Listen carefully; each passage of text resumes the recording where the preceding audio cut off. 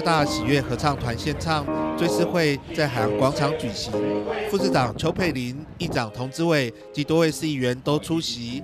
牧师为受难者和家属祝祷，带领全体与会来宾一同默哀。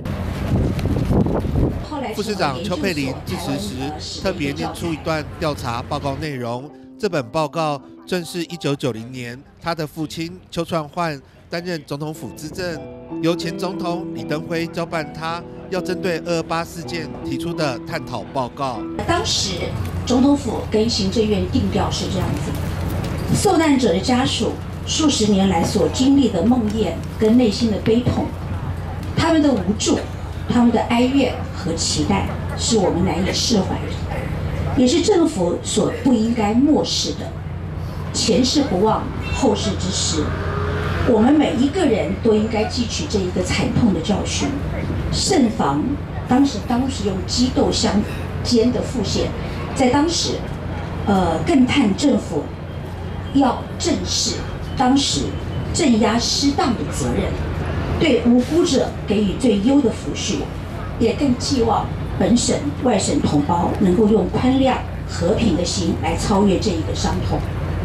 在三十二年前，政府的定调是如此；三十二年后，媒体更发达，资讯更进步，大家更勇于讲出真相。三十二年后的今天，台湾的价值是自由、民主、多元、开放。我想应该加上的是包容跟共荣。希望过去的人、过去的政府所做的不恰当的行为，可以给我们前车之鉴，让我们每个人可以学习。呃，我刚刚找到，我在这里看了，其实很感触。当时如果照这样的描述，田寮河是血水一片，当时的人民是多么的无助，当时是没有媒体。当时没有社群，我们怎么样可以体谅受难者的痛？我们可能感受不到。今天在座，我们每一位可以享受到自由民主，是一直累积下来的成果。我觉得我们在座的每一位都要珍惜所有的前辈努力争取下来，甚至在二二八事件勇于发声的每一位同胞们，也希望。台湾可以在我们的努力之上，让他们的得到代价，他们的牺牲得到了很好的代价。就是议长童志伟及多位市议员都到场向家属致意，而受难者家属代表也在会中表达转型正义的重要性。我们每一个人都应该去理解基隆过去的历史和台湾过去的伤痛，我们要认识自己的家乡。认识自己的历史，了解自己的背景，还有文化，我们才可以真正的体会得来不易的民主、和平、自由。我想也可以放到现在来说，我想透过这个机会，可以表达的在今天这个日子里面和解共生的重要。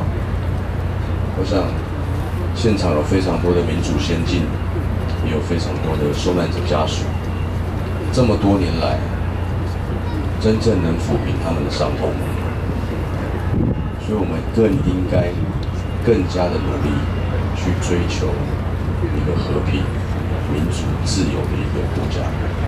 如果咱若无去开拓，诶，这历史的纠结哦，那么这项问题应该存在啊，甚至诶，这是我都去磨灭掉。所以，就面对这个历史真相，定义加害者的责任，安尼才有个有效来实现，所以转型正。随后，副市长邱佩玲率领各界来宾手持白菊花抛向基隆港，表达对受难者的追思。记者黄少明基隆报道。